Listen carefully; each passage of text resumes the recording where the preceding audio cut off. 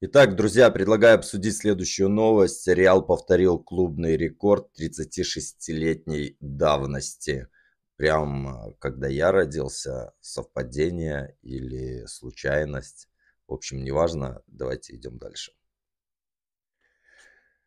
Вчера, 11 мая, а я напомню, что вчера было 11 мая, а, в Гранаде, Гранада это Испания, для тех, кто не знает, на стадионе Нуэво Лос Карменес, можно и язык сломать, завершился матч 35-го тура Испанской Ла Лиги, э, Примеры, кому как угодно, в котором местная Гранада крупно уступила мадридскому Реалу э, в пух и прах, можно сказать, дома 0-4. Ну, все-таки Реалу проиграли не так обидно некоторые э, радуются такому, что они вообще с Реалом поиграли и там проиграли всего лишь 0-4. Благодаря этой сухой победе сливочные, морковные, э, подсолнечные в третий раз в истории провели в чемпионате Испании 19 сухих матчей. 10 матчей без пропущенных голов. В составе мадридцев провел Андрей Лунин.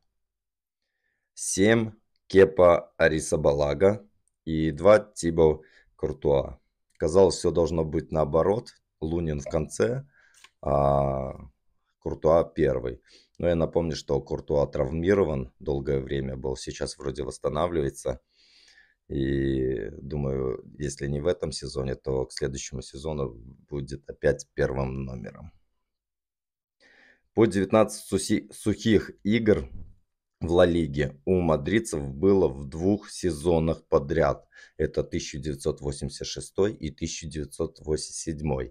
И 1987-1988. Мой год. Год дракона. Далее. Таким образом, они повторили клубный рекорд 36-летней давности. У Реала остается три матча для того, чтобы превзойти данное достижение. Он встретится с Соловесом, Вильяреалом и Бетисом.